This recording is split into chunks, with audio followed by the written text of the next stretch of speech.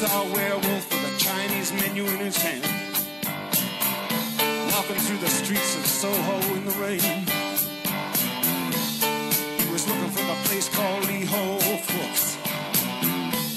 Gonna get a big dish of beef chow mein.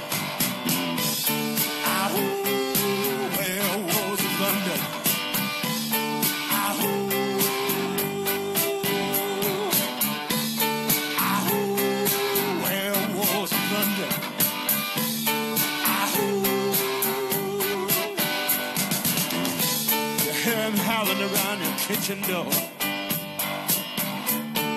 You better not let him in. Little old lady got mutilated late last night. Where was